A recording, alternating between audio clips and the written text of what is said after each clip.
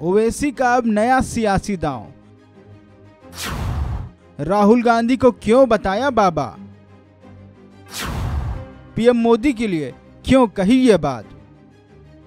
गुजरात में अपना सियासी वर्चस्व कायम करने गए एआईएमआईएम अध्यक्ष असदुद्दीन ओवैसी ने चुनाव के दौरान तमाम तरह के दांव आजमाए। हर बार की तरह मुस्लिम कार्ड खेला, कांग्रेस को टारगेट किया और तो और 2002 दंगों के ज़रिए बीजेपी को भी घेरने की कोशिश की।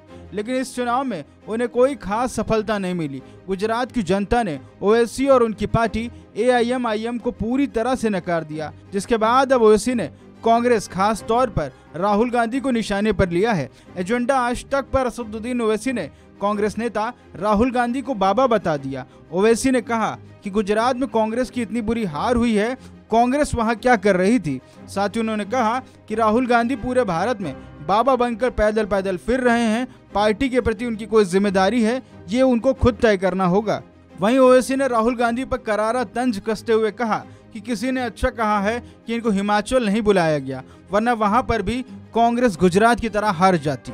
एआईएम अध्यक्ष ओवैसी गुजरात चुनाव के बाद सीधे यूपी उपचुनाव के नतीजों पर पहुँचे। फिर समाजवादी पार्टी और प्रधानमंत्री मोदी पर भी तंज कसा। ओवैसी ने कहा कि आज़म खान क्यों चुनाव हारे? अखिलेश की पत्नी डिम्पल यादव क्यों जीत गईं? आरएलडी का कैंडिडेट क्यों जीत गया? हम तो नहीं लड़े। वहीं बीजेपी की जीत को लेकर ओवैसी ने कहा कि इन सबका क्रेडिट प्रधानमंत्री नरेंद्र मोदी को देना पड़ेगा, क्योंकि उन्होंने भारत की मेजोरिटी की दुखती रख को पकड़ लिया है और ये लोग समझ नहीं पा रहे हैं। वहीं ओवैसी ने कहा कि मुस्लिमों को ये ख्वाब दिखाया जाता है कि आप इन्हें हरा नहीं पाएँगे। मोरबी में 140 से ज़्यादा लोगों की मौत हुई, लेकिन फिर भी बीजेपी जीत गई। बिल्किस बानो के रेपिस को जिसने संस्कारी कहा, वो भी जीत गया। ये चीज़ हमें समझने की ज़रूरत है। साथ ही ओवैसी ने कहा कि हम ये आज नहीं तो कल ज़रूर समझेंगे, लेकिन जब तक नहीं समझ रहे हैं, तब तक देश का नुकसान कर रहे हैं।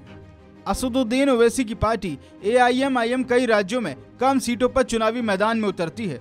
जातीय समीकरण के ज़रिए एआईएमआईएम यूपी में समाजवादी पार्टी, बिहार में आरजेडी और गुजरात में कांग्रेस को थोड़ा नुकसान पहुँचा सकी है, जिससे बीजेपी को ज़्यादा फ़ायदा हुआ है। इस लिहाज से कांग्रेस और सभी विपक्षी दल अक्सर ओवैसी को बीजेपी की बी टीम कहते हैं, जबकि बीजेपी और प्रधानमंत्री को लेकर अक्सर ओवैसी तीखी बयानबाजी करते रहते हैं और बीजेपी भी खुलकर उनका और उनकी नीतियों का विरोध करती है। लेकिन इन सब के बीच असदुद्दीन ओवैसी का पीएम मोदी को क्रेडिट देना सियासी माना जा रहा है और इसे सियासी दाव के रूप में देखा जा रहा है। तो उधर दूसरी तरफ़, कांग्रेस पार्टी पर निशाना साधना और सीधे राहुल गांधी को भी टारगेट करने के कई सियासी मायने निकाले जा रहे हैं। इस खबर में फ़िलहाल इतना ही। बाकी खबरों के लिए आप बने रहिए वन इंडिया हिंदी के साथ।